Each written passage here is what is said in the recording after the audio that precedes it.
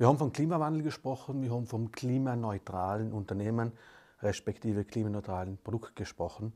Aber jeder von uns kann auch was tun. Deswegen sprechen wir jetzt noch einmal ganz kurz über den persönlichen Fußabdruck. Der persönliche Fußabdruck misst praktisch, was ich als Konsument äh, pro Jahr emittiere, beziehungsweise was ich mit meinem Konsumverhalten letztlich verursache.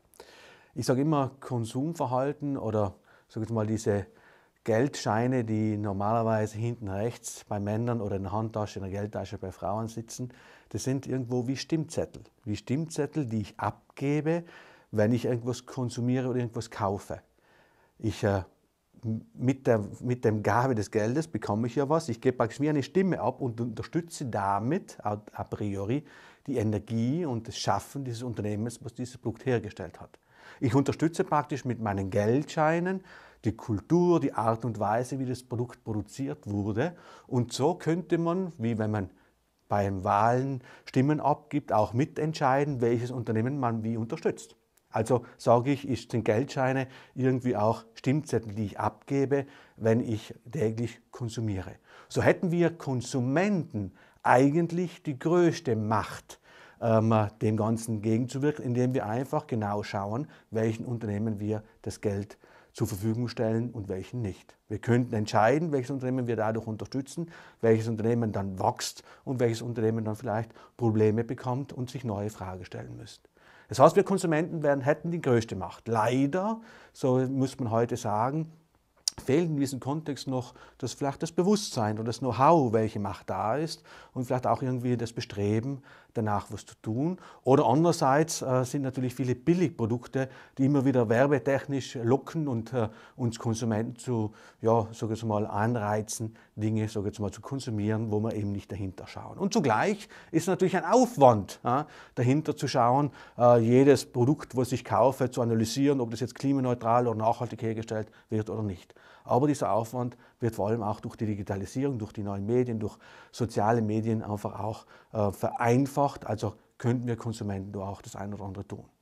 Wenn wir alle so weitermachen würden wie bisher, dann ähm, verbrauchen wir nämlich, das habe ich schon mehrfach angedeutet, mehrere Welten pro Jahr, also, also was uns zur Verfügung stehen. Wir alle haben eine Welt auf der, auf der schönen Welt, die wir leben. Wenn wir so weitermachen, wie wir weitermachen würden, dann würden die Amerikaner fünf Welten brauchen. In Deutschland, Österreich und auch in Südtirol ist es nicht anders, dass wir drei Welten brauchen. Ähnlich ist es in, in, in Großbritannien, also in Gesamteuropa und auch in China verbrauchen wir mittlerweile eigentlich zu viel, als was wir haben. Das heißt, ähm, das sind eigentlich die Logik Logiken, die dahinter stehen. Und wenn man sich das genau anschaut, hat jeder von uns einen persönlichen Fußabdruck. Ja, einen persönlichen Fußabdruck. Wir emittieren pro Jahr eine bestimmte Anzahl von Tonnen CO2 mit all dem, was wir tagtäglich tun, mit allem Schaffen, was wir tagtäglich tun. Und durchschnittlich könnten wir sagen, haben wir, sage jetzt mal, im äh, deutschsprachigen Raum ein Intervall von 7 Tonnen bis, sage jetzt mal, 17, 18 Tonnen. Da spielt sich das ab. Und das heißt, äh, die 7 Tonnen sind eben die gering äh, verbrauchen, eher die klimafreundlichen. Und auf der anderen Seite haben wir die, ähm, ähm die ähm, sage jetzt mal, äh, weniger klimafreundlichen. Und das Entscheidende ist natürlich, ähm, wie kann ich jetzt klimafreundlich sein, ohne auf Konsum zu verzichten, beziehungsweise trotzdem einen Wohlstand zu halten, trotzdem mal im Urlaub zu fahren und und und. Überall sollte man sich also praktisch Alternativen überlegen, in welche Richtung es geht. Und wenn man genau hinschaut, dann sind auch Unternehmen wie Google oder Google Maps, die auch in diese Richtung schon denken. In Bälde wird auch Google Maps Ihnen ausweisen, nicht nur wie schnell Sie von A nach B oder was der kürzeste Weg ist. In Bälde wird Google Maps auch ausweisen, mit welchem Verkehrsmittel ich von A nach B zu kommen, wie viel CO2 ich emittiere.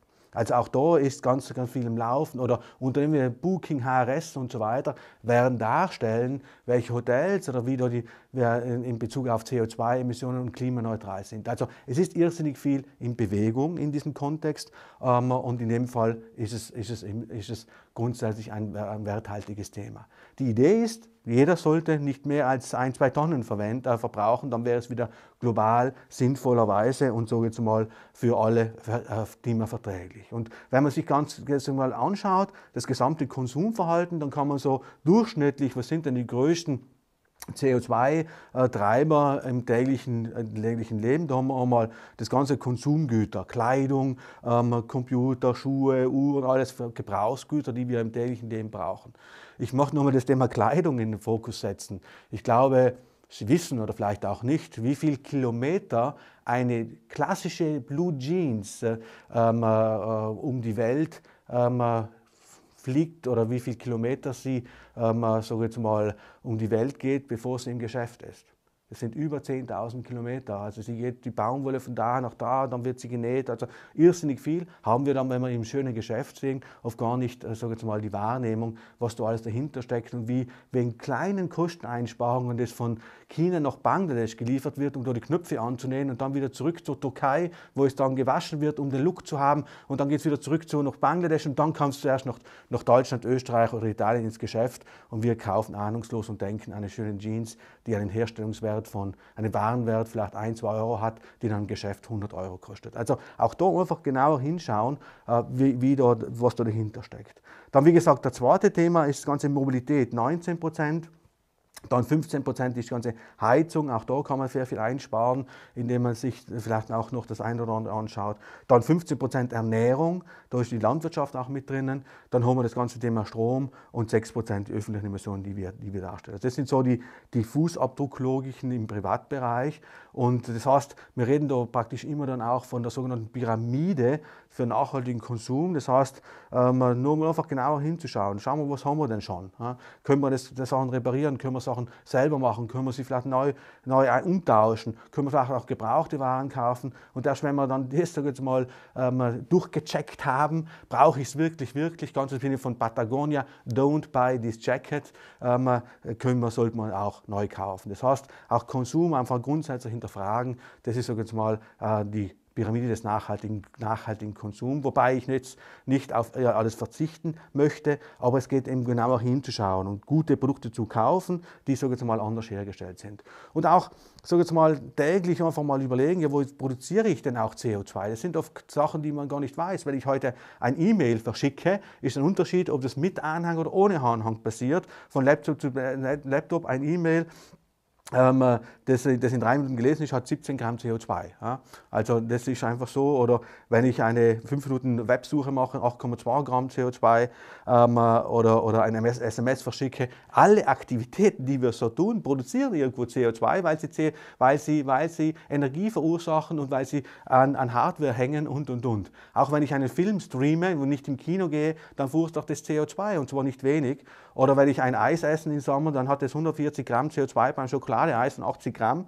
Oder wenn ich ein schönes ähm, Bier trinke, eine halbe, dann habe ich 650 Gramm und dann noch ein Cheeseburger dazu. Also das sind einfach Sachen, die man einfach bewusst machen soll. Heißt nicht, dass man das mitmachen soll.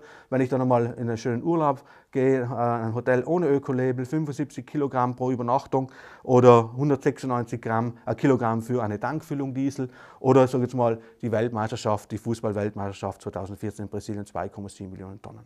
Das heißt, ähm, überall alles ist eigentlich äh, ein CO2-Produzent. Das heißt, das Einzige, was jeder von uns und Ihnen tun könnte, ich messe mal meinen eigenen CO2-Fußabdruck. Äh, ich erkenne dann aufbauend auf die vorhin dargestellten Kategorien, wo bin ich vielleicht Überdurchschnitt, wo bin ich Unterdurchschnitt und kann nur vielleicht auch das eine oder andere Mal Aktivitäten selbst setzen oder das Thema in der Familie thematisieren. Ich weiß, die Kinder sind da sehr aktiv, sehr, sehr offen und einmal Sachen auch zu hinterfragen. Muss es immer die Urlaubsreise Fernost, wo man, hin, äh, also Fernost, wo man hinfliegen muss, äh, kann es nicht anders sein? Können wir nicht auch mal ganz neu denken?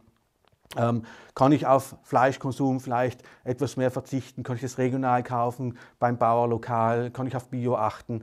Ähm, äh, also all diese kleinen Dinge, die jeder von uns tun kann. Und ich sage immer wieder, ähm, wenn man auch dann mit Unternehmen spricht, kann man auch selber sagen, ja, ich schaue auch auf ein bisschen was und das in der Familie zu thematisieren, macht Spaß, macht Freude, äh, macht Lust auf mehr.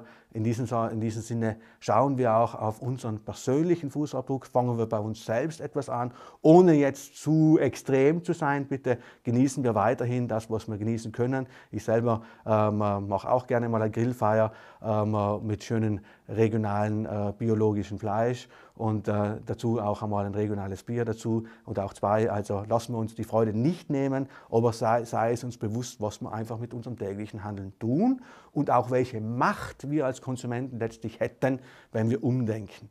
Und Stichwort Macht Konsumenten, wenn wir den Unternehmen auch Impulse geben im Rahmen der Jahresgespräche, im Rahmen von Gesprächen, dann können wir auch da wieder sagen, schau, das, das tut sich viel. Letzte Sache, letzte Sache dazu, auch der Konsument selber ändert derzeit sehr stark sein Kaufverhalten. Früher waren es eine Randgruppe, die sogenannten LOHAS, die sich primär mit dem beschäftigt haben. LOHAS als Zielgruppe Lifestyle und Health und Sustainability, die praktisch diese Themen gelebt haben. Mittlerweile ist diese LOHAS-Gruppe sogar mal verbreitert und mehr oder weniger alle, alle Bevölkerungsschichten unterschiedlich natürlich interpretiert. Äh, wir sehen das Thema Nachhaltigkeit. Andererseits muss man natürlich auch sagen, wenn das Geld ganz, ganz knapp ist, dann ist das natürlich nicht die höchste Priorität. Auch das muss man natürlich erwähnen. Aber auch da müssen wir einfach schauen, ein Gesell dieses gesellschaftspolitische Problem lösen, dass einfach auch jene mit, mit geringeren Einkommen nach oben kommen, um auch hier Gleichheit zu schaffen. Also die Macht liegt auch beim Konsumenten, die Macht liegt letztlich bei jedem von uns. Lassen Sie uns bei uns beginnen.